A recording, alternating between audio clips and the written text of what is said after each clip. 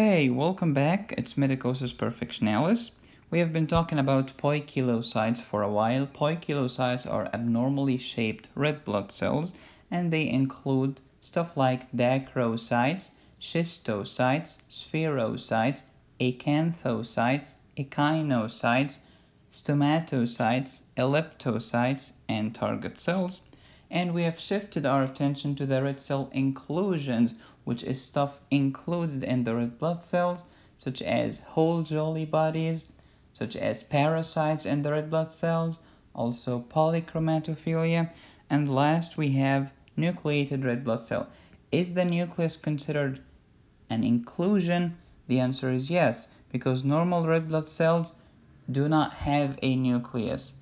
RBCs are circular, biconcave, non-nucleated. So a nucleus inside of your red blood cell, unless you are a neonate, is always abnormal. So here's our nice slide of hematopoiesis. Here we have the multipotent stem cells in your bone marrow. We have myeloid and lymphoid stem cells. The myeloid stem cells will give rise to a lot of stuff, including the red blood cells. In order for us to get from here to the mature red blood cells, the cells start to be bigger and end up being small. They start with a nucleus, they end up non-nucleated. Okay, the first non-nucleated cell to appear is your glorious reticulocyte. For the reticulocyte to mature to be an erythrocyte, it takes three days. The reticulocytes, although non-nucleated, it still has some ribosomal material remnants, which gives it its blue color, called polychromasia. So the moral of the story is, immature cells are large and nucleated, mature cells are small and non-nucleated. So, nucleated red blood cells or normoblasts, they are normal in neonates. After the neonatal period, abnormal. Causes include but not limited to bone marrow damage, could be myelofibrosis or myelophthisis, which is bone marrow infiltration. Severe hemolysis, why? Because in hemolysis, your red blood cells are being destroyed the bone marrow is working like crazy to produce more red blood cells and it doesn't care if this cell is immature. Just go. Hustle hustle hustle. Bring more more more. But it's immature. Go. Please go. Bring these cells out so we can survive. I don't care if they are slightly immature or immature period. Just bring them out. That's the crazy bone marrow during severe hemolysis. Acute hemorrhage same stuff. We are losing blood. We need more blood and I don't care if it's immature. Leukemia, if your bone marrow is sick and have cancer cells in it, of course your red blood cells are not going to be happy and mature and well. You'll end up with ugly red blood cells. Leukoerythroblastosis. This is a crazy condition where you have immature bone marrow white blood cells and immature nucleated red blood cells. So you end up with immature white blood cells and immature red blood cells, which is like being crazy and stupid. Now pay close attention here.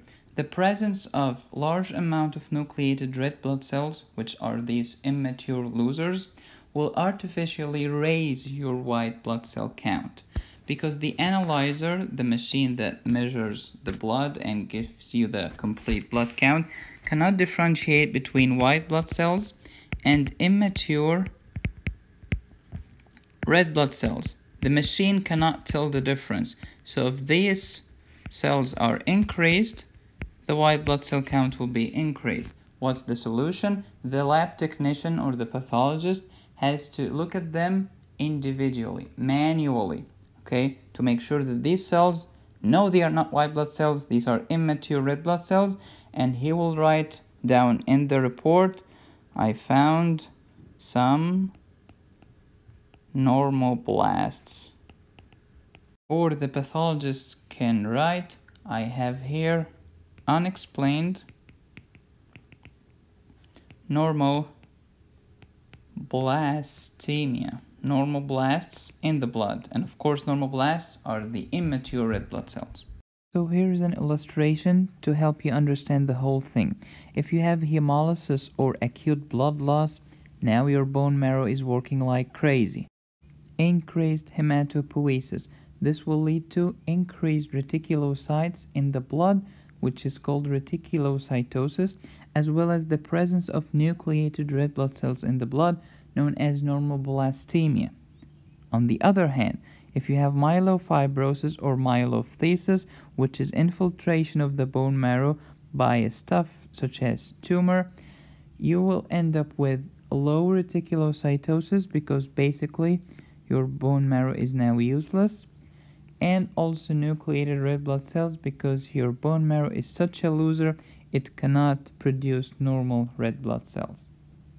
So the moral of the story, nucleated red blood cells can be present in any of these cases. The reticulocyte count will help you determine which is which. And that's it for today. I'll see you in the next video. Please don't forget to subscribe. Thank you.